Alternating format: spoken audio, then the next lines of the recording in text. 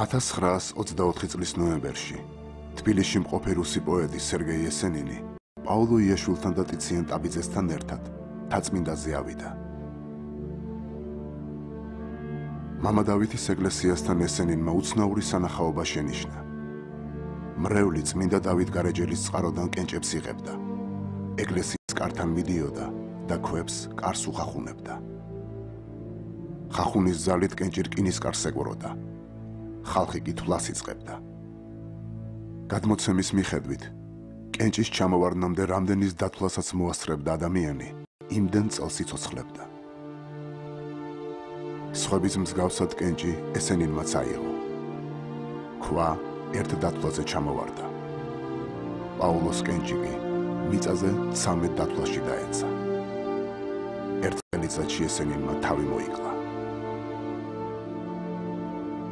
ამ ამბიდან 13 წელი გავიდა. 1937 წლის ზაფხულს თბილისში განსაკუთრებულად ცხელოდა. ივლისი იდგა. პაულო იაშვილი მწერალთა კავშირის შენობისკენ მიდიოდა. 23 ივლისს მწერალთა კავშირში კრება უნდა ჩატარებულიყო.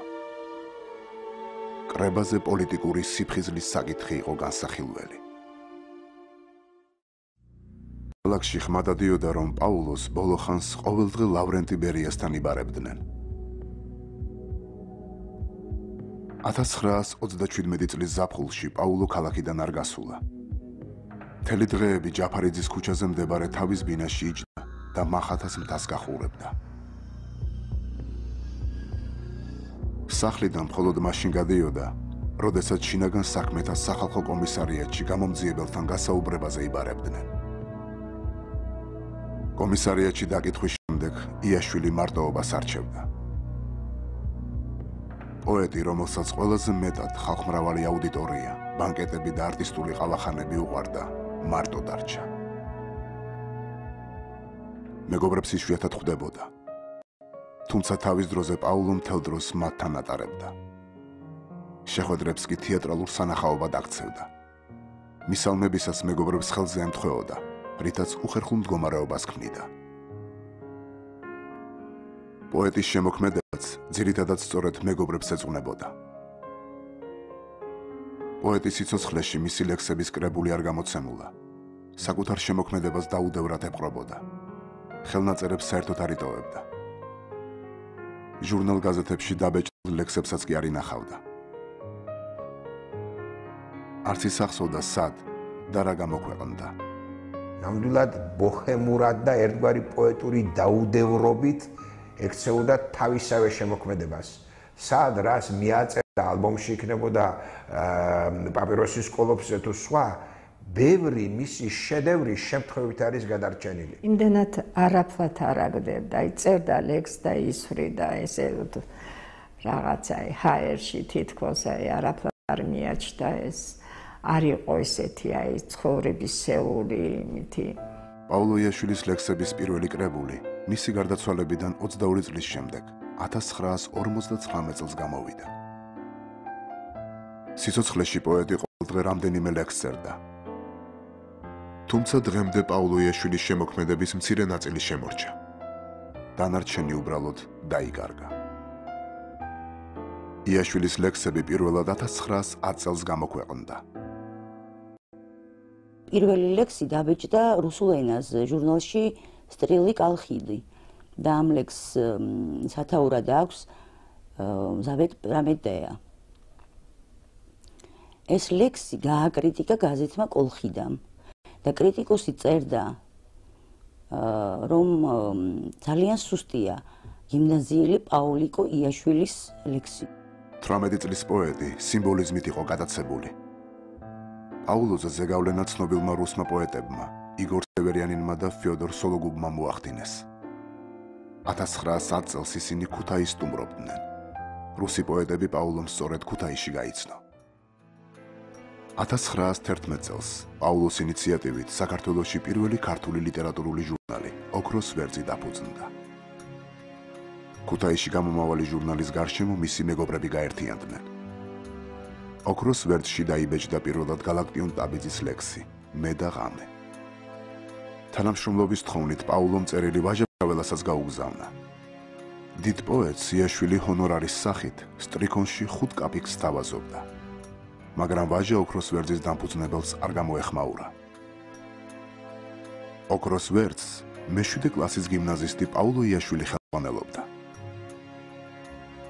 იმ დროინდელი კანონმდებლობით არასრულწლოვან მოქალაქეს ჟურნალის დაფუძნების უფლება არ ჰქონდა. ამიტომ ოფიციალურ რედაქტორად ვინმე ჯაიანი იწერებოდა. ცენზურამ ნამდვილი რედაქტორის ვინაობა სწრაფად დაადგინა და ჟურნალი წაგრძალა. ოქროს ვერძის მხოლოდ 4 ნომერი გამოვიდა. პაულო მეფის ოხრანკისთვის უკვე არასაიმედო დაციაში მოხვდა. ამას კიდევ ერთი ისტორია დაემატა. ქუთაისის გიმნაზიაში მონარქისტმა პედაგოგმა კუსტინოვიჩმა ქართულ ენას ზაღლის ენა უწოდა, რასაც მოწაფეების პროტესტი მოჰყვა. პედაგოგის წინააღმდეგ მოწყობილ დემონსტრაციაში აქტიური მონაწილეობისთვის პაულო გიმნაზიიდან გარიცხეს. შობლები ჯიბუ და ბაბილინა იძულებულები იყვნენ პაულო აიშვათ რუსეთში და მან ანაპაში დაასრულა გიმნაზია.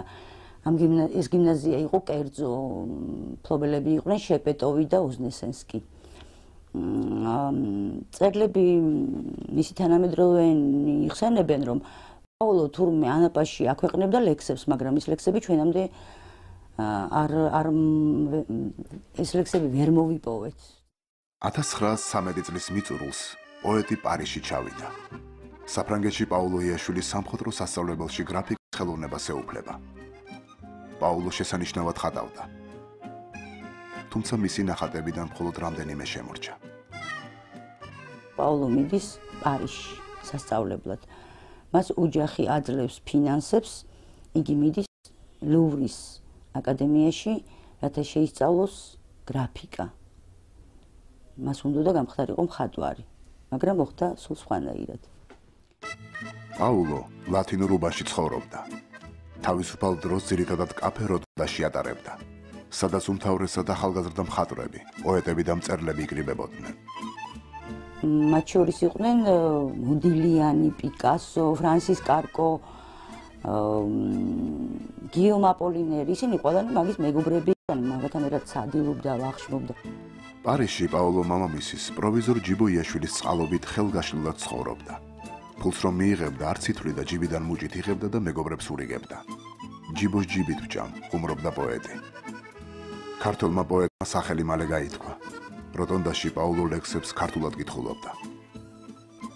კაფეში მყოფთა უმეტესობა შინაარსი არ ესმოდა. მაგრამ მისი ხმის ტემბრის და ლექსის ჟღერადობის გამო პუბლიკა მაინც აფრთოვანებული უსმენდა. დაიტანჯა მაჯა მარჯნის ძიმე ჯაჭვის ტარებით, ბევრი ცრემლი დამეხარჯა ერთი ღამის ნეტარებით. მისტიფიკაცია ერთობა პოეტი, მაგრამ საოცარ მუსიკას გამოსცემს. 1964 წელს ქართული მწერლების ერთი ჯგუფი იყო პარიზში ჩასული. ვიქტორ ნოზაზის ძმა, ემიგრანტმა გიორგიმ ეს წერლები წაიყვანა პარიზის დასათვალიერებლად და მიიყვანა პარიზის პანთეონთან. დაჩვენა კედელი, სადაც პაულოს ხელით ეწერა გაუმარჯოს დამოუკიდებელ საქართველოს. პარიზში იგი ცნობილ რუს სიმბოლისტ პოეტს კონსტანტინ ბალმონტს დაუმეგობრდა. იაშვილის გავლენით ბალმონტმა მოგვიანებით შოთა რუსთაველის ვეფხვის წყალოსანი რუსულად თარგმნა. პარიზიდან დაბრუნებულმა პაულომ 1916 წელს ქუთაისში ჟურნალი დააფუძნა. ოქროს ვერძის შემდეგ ეს მეორე ლიტერატურული გამოცემა იყო და მას ცისფერი ყანწები ეწოდა. ჟურნალის ყდაზე ცისფერი ყანწები რქებივით წამახული ასოებით ეწერა. ჟურნალი პაულო იაშვილის წინასიტყვაობით იწყებოდა. ეს გახლდათ ლიტერატურული манифеסטი, რომელიც პოეტებს და მთელ ქართველ ხალხს ახალი ლიტერატურული სკოლის, პოეტთა ახალი კორპორაციის დაბადებას აუწყებდა. გაუთავებელი ლაპარაკი შეიძლება იმაზე, თუ რა დაუფასებელი ღვაწლი მიუძღვის პავლო იაშვილს ქართული პოეზიის განვითარებაში. ჯერ ერთი დემოკრატიული ლიტერატურის ლოზუნგურობა შეცვალა ნამდვილი ლექსით. აღადგინა სიტყვის ესთეტიკური ფასებულობა. 1916 წელს საქართველოსში ცისფერ ყანწელთა ორდენი შეიქმნა. რომელმაც ქართულ ლიტერატურაში ახალი მიმდინარეობა ჩამოაყალიბა. ჟურნალის პირველ ნომერში დაბეჭდილ პაულოს უსათაურო ლექს დიდი გამოხმაურება მოჰყვა. ამ ლექსით იაშვილი პოეტების ძველ თაობას დაუპირისპირდა. იგი ერთგვარად ქართული ლიტერატურის კლასიკურ მემკვიდრეობას უარყოფდა. პაულო მუწინარეს ყოვლისა ქართული პოეზიის ცენტრალურ ფიგურას აკაკი წერეთელს შეუძლია. ცისფერ ყანწელებს საზოგადოების დიდი ნაწილი ნეგატიურად შეხვდა. ცისფერ ყანწელები ბოჰემურ ცხოვრებას ეწეოდნენ. საკუთარ შემოქმედებას კაფეებში სახალხოდ კითხულობდნენ.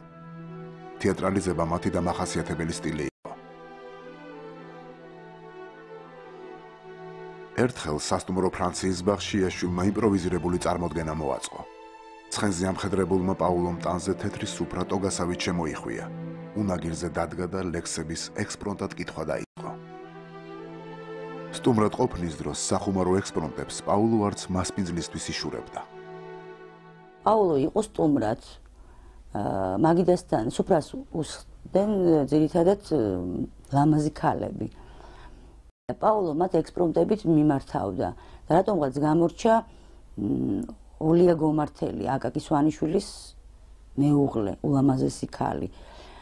ოლიას მისთვის საყვედური უთქვამს და პაულოს მიუმართავს ექსპრომტით ანგორსკაი კოშკი ძიკი взгляд и прелесть иверской мадонны но все манеры говорят что вы мадам из эстафони ცისფერ ყანწელთა ცხოვრება ქუთაისის საზოგადოების ნაწილის უკმაყოფილებას იწვევდა საკუთარ შემოქმედებაში პაულო ხორცილ ნებას ღიად გამოხატავდა ამ ლექსებს იაშვილი ელენე დარიანის ფსევდონიმით წერდა და მათ დარიანული პოეზია ეწოდა.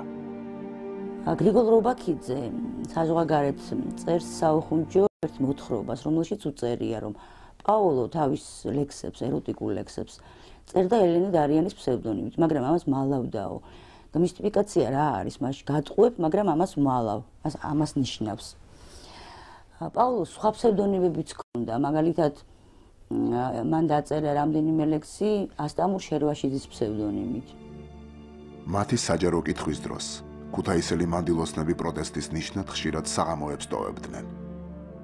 საყვარელ ხელებს მივეცემი როგორც ნას საწოლს და შენ დამკოცნივით დედოფალს ვით მხევალს და ცოლს თკბილი იქნება ცხელ სილაზე ჩვენი თამაში ზიურებს მაშინ არაფერი მოგვაგონდება 1917-18 წლებში ცისფერყანწელებმა ქუთაისიდან თბილისში გადმოინაცვლეს. დედაქალაქში ამ შემოტევას ლიხნდალეულთა ექსპანსია უწოდეს.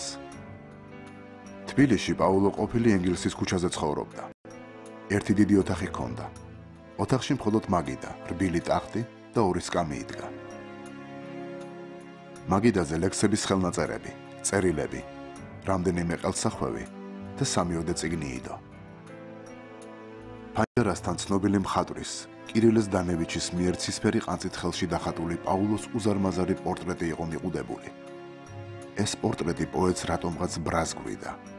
ხან წიგნს ესროდა, ხან ფეხსაცმელს. ერთ დღეს სურათი დანით დასერა. პორტრეტისგან მხოლოდ სახე გადარჩა, რომელიც მისმა მეგობარმა პოეტმა ტიციან ტაბიძემ წაიღო. ენგელსის ქუჩაზე პაულოს იშვიათად ეძინა. პოეტი ღამეს ხან კაფე ქიმერიონში ატარებდა, ხან რომელიმე მეგობარს სტუმრობდა. პაულო სახლში თითქმის არ შედიოდა, მაგრამ მისი ბინისკარი ყოველთვის ღია იყო. იმერეთიდან ჩამოსული სტუმრები პოეტს ხშირად აკითხავდნენ. სახლში დაბრუნებულ პაულოს ოთახში რამდენიმე კაცი მძინარე ხვდებოდა. ამას ისე იყო მიჩვეული, რომ ყურადღებასაც აღარ აქცევდა. ლექსების გარდა პაულო იაშვილი მოთხრობებსაც წერდა. მოთხრობა ფერადი ბუშტები თბილისელ და პარიზელ მათხოვრებს ეძღვნება. პაულოს ბოჰემურ ცხოვრებაში უპოვრებს დიდი ადგილი ეკავათ. ლეონტი კაჩერგა თბილისელი მათხოვარი იყო. ერთხელ პაულო მეგობრებთან ერთად რუსთაველის პროსპექტზე სეირნობდა. მის წინ მათხოვარი კაჩერგა გაჩერდა. არც პაულოს და არც მის მეგობრებს ფული არ ჰქონდათ. იაშუმა კუდი მოიხადა და მათხოვრობა დაიწყო. მაშინ პაულოს თითქმის მთელი ქალაქი იცნობდა. 20 წუთის შემდეგ კუდი ფულით იყო სავსე. პაულომ თანხის ნაწილი კაჩერგას მისცა. ნაწილით კი მეგობრებთან ერთად დუქნისკენ გასცია. მეგობრული ურთიერთობა ჰქონდა პაულოს პარიზელ მათხოვრებთანაც. იაშვილი მათ კაფე როტონდაშიც კი პატიჟებდა. 1921 წლის თებერვალში ცისფერ ყანწელებს ბოჰემური ცხოვრებისთვის აღარ ეცალათ. 25 თებერვალს ბოლშევიკური რუსეთის მე-11 არმია საქართველოს დედაქალაქში შემოიჭრა. ქალაქში მთავრობა აღარ არსებობდა. მენშევიკებმა თბილისი 24 თებერვალს დატოვეს. ქალაქის შესასვლელთან პაულო იაშვილი და ციენტაბიძე წითელი არმიის მეთაურს შეხვდნენ. პოეტები მას თხოვდნენ, რომ ჯარს მშვიდობიანი მოსახლეობის წინააღმდეგ ძალა არ გამოეყენებინა. პაულო ტიციანი, ლევან მეტრეველი და ივანე ჯაფარიძე ეკის სიმონ ჯაფარიძის ძმა, რომელიც შემდეგ ემიგრანტი იყო, ეძებენ პაულოს ძმას, კოციას. და ვერ პაულობენ, ის იყო იუნკერი. იციან რომ რაღაც ბრძოლებში მონაწილეობს და აი ამ ქუჩაში ხეტიალში გადააწყდნენ გენერალს გიორგი მაზნიაშვილს. რომელსაც შეშჩივლეს, რომ ჩვენც ვაპირებთ ქალაქის დატოვებასო. გენერალმა მაზნიაშვილმა უთხრა: თქვენ პოეტები ხართ. პოლიტიკაში არ ევი, თქვენი მოქალაქეობრივი მოვალეობა ქალაქი დაიცვათ. სასწრაფოდ შექმენი ჯგუფები რომ ქალაქში ძარცვა გლეჯა არ მოხდესო. საქართველოსში კომუნისტური რეჟიმის დამყარებამ ცისფერ ყანწელთა ცხოვრების წესზე თავიდან გავლენა არ იქონია. 1921 წელს კაფე ქიმერიონი კვლავ პოპულარული იყო. თუმცა რამდენიმე წლის შემდეგ ვითარება თანდათან შეიცვალა. ცისფერი ყანწების პარალელურად პაულო იაშვილი 1923 წლიდან გაერთიანებული მწერალთა კავშირის წევრი ხდება. იაშვილი რუს პოეტებთან მეგობრობს. საქართველოსში სტუმრად მყოფ რუს პოეტებს მასმიძლობას ხშირად პაულო და მისი მეგობრები უწევდნენ. ანდრეი ბელი არის სოფლიო მასშტაბის მწერალი, ასევე პასტერნაკი, დიდი პოეტი და საერთოდ ესენი რამში აყარა ამ ხალხს საქართველოს. მე ერთხელ თქვი და ახლაც ვიმეორებ. დიდი შეიძლება გადამწყვეტი მნიშვნელობა ასეთ შემთხვევაში აქვს მეგზურს, ვინ არის მეგზური და აი ანდრეი ბელი თვითონ როდესაც წერს თავის რომანში ვეჯერს კავკაზა ვის შეყარა, ვინ გააცნო, ვინ წარუდგინა მას საქართველოს, რომელსაც მე ისე თაყვანებოდა და ქართული პოეზია აი ამ პოეტებმა. ამ პოეტებმა მარტო კი არ აჩვენეს ექსკურსიად, მძღოლი გიდების როლში კი არ იყვნენ. ესენი თვითონ ატარებდნენ საქართველოს. პაულო საქართველოს ატარებდა თავისი ფიგურით, აღნაგობით, ტემპერამენტით. 20-იან წლებში პაულო იაშვილი ახალ ცხოვრებასთან შეგუებას ცდილობს. მის შემოქმედებას ძველი ბოჰემური კვალი აღარ ეთყობა. პაულოს ლექსები სიმსუბუქეს კარგავს და სევდიანი ხდება. დადის ქალაქში ბევრი მსგავსი ჩემი სეული და ხალხი ამბობს ეს კაცია ლექსის მწერალი მაგრამ ვინ იცის რა ცეცხლშია გამოხვეული ეს ჩემი ტვინი დასაქცევი. ტვინი ვერანი. 1924 წლის აგვისტოში ანტისაბჭოთა აჯანყება მიფეთქა რომელსაც ქაკუცა ჩოლოყაშვილი მეთაურობდა. ხელისუფლება აჯანყებულებს სასტიკად გაუსწორდა. რეპრესიებს აჯანყების მონაწილე პაულოს ძმა ვასილიაშვილი ცემსხვერპლა რომ ვასილი რომელსაც შინაურები ჭუნიას ეძახიან და ისტორიოსებიც ასე იცნობენ 1924 წელს სადგურ ყვირილასთან დახვრიტეს ბოლშევიკებმა ვასილის ამბავს პაულო დედას არატყობინებდა. ატყუებდა ვითომ ვასილი ირანში გაიპარა და ძმის მაგივრად დედას წერილებსაც წერდა. 20-იანი წლებისთვის ცისფერ ყანწელთა ჯგუფი საბოლოოდ დაიშალა. 1927 წელს პაულოს საქართველოს ცენტრალური აღმასრულებელი კომიტეტის წევრობის კანდიდატად ირჩევენ. ამავე დროს იგი თბილისის საბჭოს წევრიც ხდება. სიმბოლისტმა პოეტმა ხელისუფლებასთან თითქმის საერთო ენა გამონახა. 1934 წელს იგი საბჭოთა კავშირის მწერალთა კავშირის გამგეობაშია და ამიერკავკასიის ცენტრალური აღმასრულებელი კომიტეტის წევრი ხდება. 1934 წელს მოსკოვში საბჭოთა მწერლების ყრილობა გამართა. სხდომის დელეგატად პაულო ლავრენტი ბერიას რეკომენდაციით მოხვდა. იაშვილის გვარის სიაში ბერიამ საკუთარი ხელით შეიტანა. პაულოს ლექსები საბჭოთა კავშირის სხვადასხვა ენებზე ითარგმნა. პაოლო იაშვილის ნაწერები მაგალითად ფერადი ბუშტები თარგმნილია უკრაინულ ენაზე. საუკეთესო პოეტები თარგმნიან მის ლექსებს. მისი ლექსები თარგმნეს نيكოლოზ ტიხონოვმა, ბორის პასტერნაკმა, ტატიანა ვეჩუკამ, კლარა არსენიევა არსენიევა ბუკშტეინმა. ყრილობაზე, რომელსაც სტალინი ესწრება, პაულო სიტყვით გამოდის. იაშვილი საბჭოთა პოეტების ყრილობას სამყაროს შექმნას ადარებს. მისმა სიტყვამ სტალინი აღაბრთოვანა. ფეხზე ადგა და ტაში დაუკრა. პოეტი წითელი დროშის ორდენით დააჯილდოვეს.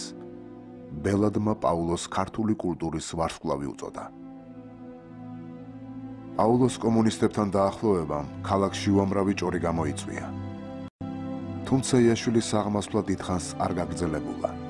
1927 წელს ლავრენტი ბერიამ ცეკას ერთ-ერთ სხდომაზე პაულო იაშვილის შემოქმედება ეჭქვეშ დააყენა. ბერიას სიტყვის შემდეგ პოეტის სახალხო კომისარიატში დაიბადეს. გასათვალისწინებელი და ჭკუის სასწავლებელია ზოგი აი ეს ტრაგიკული ურთიერთობა რაც შეიძლება არსებობდეს ხელისუფლებასა და პოეტ შორის პოეტი ბოლომდე არასოდეს არ უნდა ენდოს ხელისუფლებას შეიძლება ზოგჯერ ხელისუფლება ხელისუფლებას თავის ფაორში ხავდე შეიძლება ზოგიერთ შემთხვევაში ხელისუფლებამ ზრუნველობა შენზე გამოიჩინოს მაგრამ პრინციპულად ეს ცნობილი ფრაზა არის და ცნობილი დებულება არის რომ პოეტი არის მარადიული ოპონენტი ხელისუფლებისა. იმ ხელისუფლებისა განსაკუთრებით სატანისტური ხელისუფლებისა რომელიც იმ პერიოდში საქართველოსში იყო იაშვილს ცნობილი ფრანგი მწერლის ანდრე ჟიდის საქართველოსში სტუმრობაც გაუხსენეს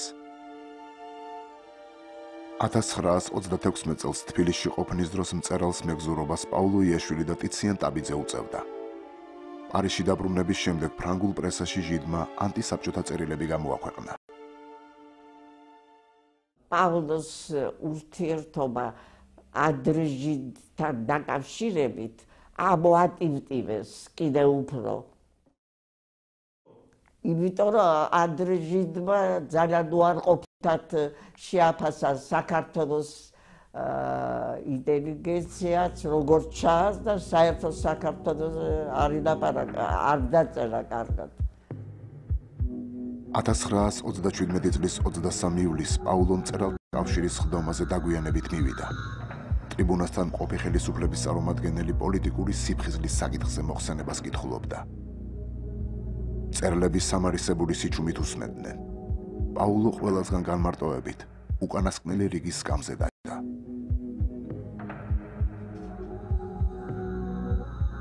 სხდომამდე ერთი დღით ადრე იაშვილი ბერიასთან დაიბარეს. ბერიამ პაულოს მწერალთა კავშირის იმ წევრთა სია წარუდგინა, რომლებსაც ბრალად საბჭოთა ხელისუფლების დამხობის ორგანიზება ედებოდათ. სიაში ძირითადად ცისფერ ყანწელების გვარები ეწერა. ბერია იაშვილისგან ამ ჯგუფის საქმიანობის მხილებას და აღიარების ხელმოწერით დადასტურებას მოითხოვდა. წერალთა ხმაზე პაულო ჩაფიქრებული იჯდა. შემდეგ ადგა და დარბაზიდან გავიდა. მეორე სართულის კიბეს აუღვა. თავის კაბინეტში შევიდა. კარადიდან ნაჭერში გახვეული ორლულიანი ლებოს მარკის თოფი გამოიღო.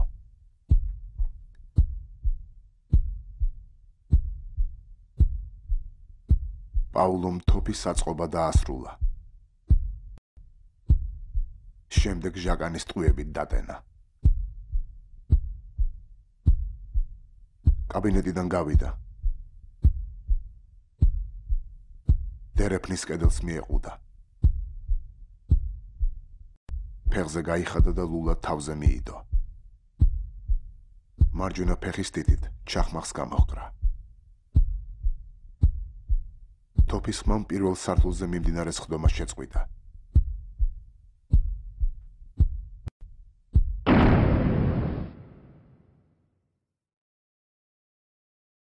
მოგვიანებით, როდესაც პაულოს გვამის შენობიდან გაიტანეს, სხდომა ისევ გაგრძელდა. მოხსენებელი მწერლებს კვლავ პოლიტიკური სიფხიზლისკენ მოუწოდებდა.